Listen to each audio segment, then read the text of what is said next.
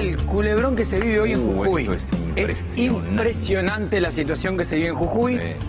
A ver, vos ves acá una imagen, moda total, ¿sí? Sí, está esta, es, cortada, la podemos ver entera, se ve entera en la... esta es la pareja, Sí. acá, lo- acá los tenés a los dos. Gerardo Morales, gobernador de Jujuy, y su pareja, ¿sí? Que se están...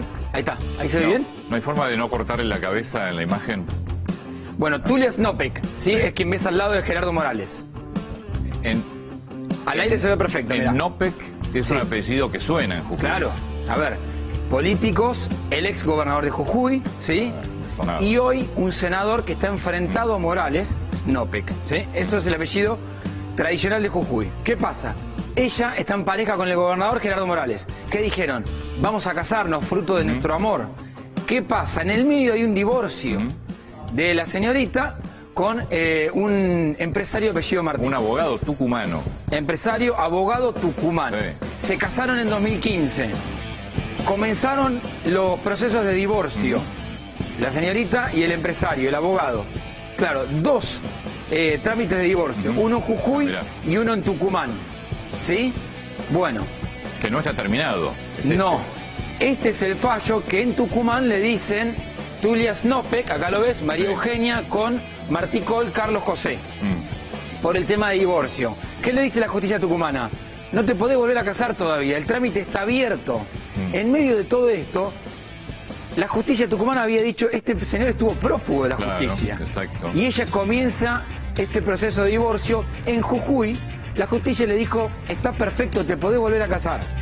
Entonces Morales y la señorita dijeron, casémonos. Claro, pues además lo que anuncia en la revista de ella es todo cómo va a ser el casamiento. Olvídate. Sí. Ya dijo Morales, si el 15 de diciembre no me dan el divorcio oficial, yo hago una ceremonia indígena y me caso por otras leyes. Pero hay, pero además, hay algún cru- hay cruces en, en, en el Congreso de, Sí. de Jujuy, hay cruces donde. Congreso Ah, no, Nacional. Congreso Nacional. Cuando se debate la legalización del aborto, Claro, Guillermo. Snopek, senador, Se mete en dice el- se mete en el públicamente tema personal. y dice, Morales me amenazó para que se pueda casar. Morales salió y dijo, de ninguna manera te amenacé, habla de lo que tenemos que hablar y esto no es un gran cuñado para hablar de cuestiones Es familiares. buenísimo. Y le, y le dice, y si no lo tenés superado, anda al psicólogo. Sí, lo manda el psicólogo, el gobernador. Sí. Él dice que Hay- se va a casar igual. Hay un tuit de Morales donde lo escribe todo por Twitter. Cuando Twitter. se mm, debatió la legalización del aborto. Él dice que se va a casar igual. Lo que te mostramos acá es el fallo de la justicia tucumana que le dice, no, no podés innovar, dice. Que no Ah. eh, tenés prohibido innovar con el tema del casamiento. ¿La vieron a Tulia? Lo rebancamos a Morales. Obviamente. Lo rebancamos. Desde acá la- lo bancamos, pero Muy 100%. bonita, muy Sí, bonita. muy bonita ella, que dice que se puede volver a casar. La justicia tucumana le dice que no. La justicia jujeña le dice que sí. Y en el medio están todos los, todas las revistas, todos los sitios de internet hablando del casamiento. Ella misma Pero ella hizo una Publicando- de, en esta revista, a veces hizo una producción de fotos de, del- y publicando videos donde dice, no se preocupen, yo me caso, voy a ser la primera dama jujeña. La justicia de Tucumán le dice que no. ¿Qué dice la gente de Morales? Claro, en Tucumán están presionando para que no se pueda volver a casar porque políticamente no quieren que Bueno, ella... Lo que pasa es que Snope, que además es del, es del bando contrario político. Claro. Y Tucumán es del otro también. Hay una interna Ah, política, pero que Increíble. producto de un casamiento donde Morales dice, déjenme que me case. Claro. Bueno, la justicia de Tucumán le dice que no. Mira. Fíjate. A todos lados van juntos, sí, pero se muestran y dicen, nos Además, vamos a casar. Exacto, si ella hizo una producción de fotos sobre eso, Claro. Es una relación completamente pública. Es pública, a ver, y son pareja, etcétera. Lo que pasa es que este fallo tucumano le puso un pie en el freno y le dijo, Morales, ¿a dónde vas? No se puede casar todavía. Que este es el, el documento Por que estamos Tucumán. viendo. ¿eh? Así que estuvo prófugo el ex. Estuvo prófugo.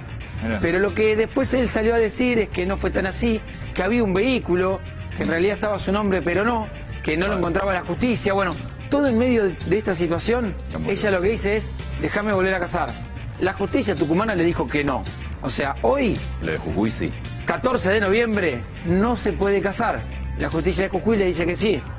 En el medio del amor de estos dos tórtolos, Gerardo Morales, su corazón, dos su corazón está con ella. Lo rebancamos a Morales. En esta lo Eh, bancamos a lo morir. rebancamos. Eh. Vamos a ver qué pasa. Sí. ¿Se casa o no? Hay gente, viste, que no se casó y que dice, no tenés por qué casarte. Y sí. Eh, En realidad, había- ayer había, eh, había un dirigente jujeño que está enemistado con Morales que me dijo, Ramón, le están haciendo un favor. El problema es casarte. Claro, no es que no claro. te dejen casar, al revés. Tendría que estar festejando. Morales está recontra enamorado. Sí, Recontra enamorado. totalmente. Y él Sí. se quiere casar. Así es. Y ella también.